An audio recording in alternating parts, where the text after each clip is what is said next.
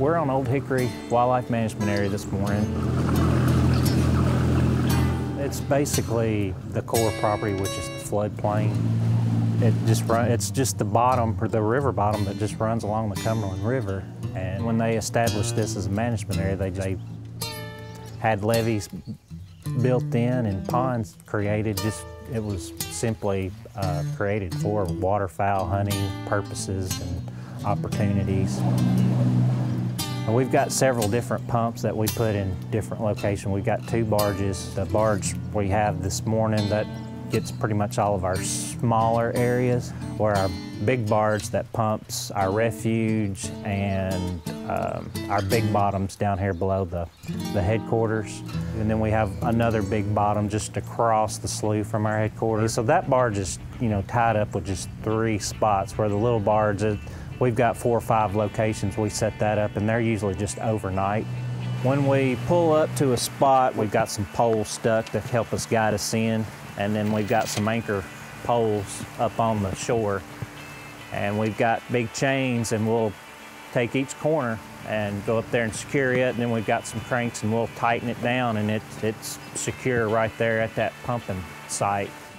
12 inch hoses is what we use. Uh, they just go up the landing area and the end of the hose is just right at the top of the, the levee around the pumping ditch, and it just pumps the water right into the pumping ditch. Our little barge has two outputs, and our big barge has four. Our small pump pumps probably about 500,000 gallons an hour.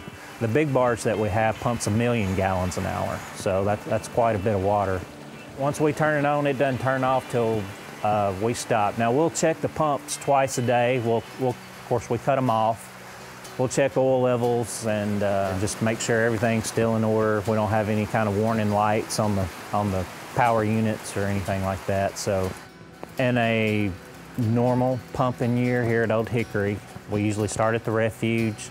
The refuge actually is one of the first places we start with our big barge, but because of the wet weather we had at the beginning of our planting season, the refuge is one of the last places we got planted this year, so it will probably be the last place that that barge finishes up.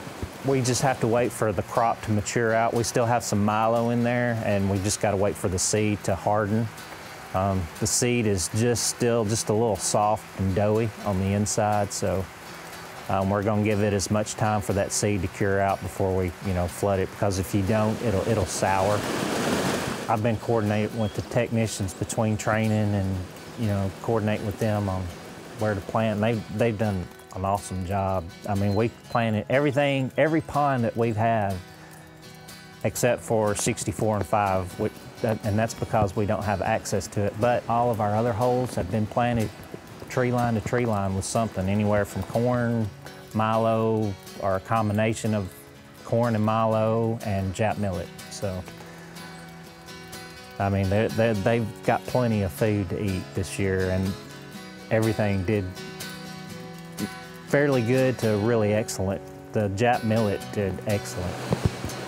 Barring any kind of major breakdown, it, it takes us around 14, 15 days to get everything topped off and ready for hunting.